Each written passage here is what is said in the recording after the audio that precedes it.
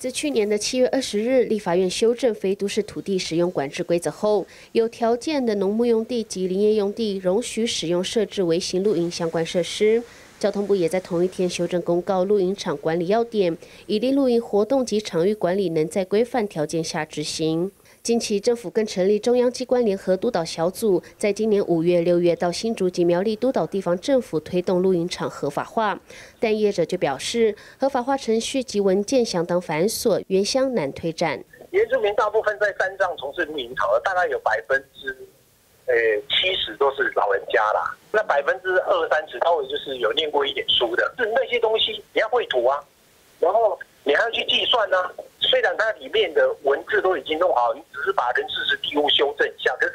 很多人都不会操作电脑啊。在一百一十三年哦，我们也编了五千万元啊，要协助各个地方政府来针对辅导呃非法营区的一些相关的作业费用、人力费用，还有一些稽查的需要的一些呃车辆的。根据交通部观光局近日统计，目前全台违法露营场有一千六百三十二家。违法露营场三大县包含南投县、苗栗县以及新竹县，其中原乡有六成属于违法，而位在环境敏感区中的有六十五处。但原乡地区的露营场多在非都市土地的农牧用地及林业用地上，业者表示，露营场管理要点法律位阶太低，是让原乡露营场合法化至今至爱难行的问题之一。他的。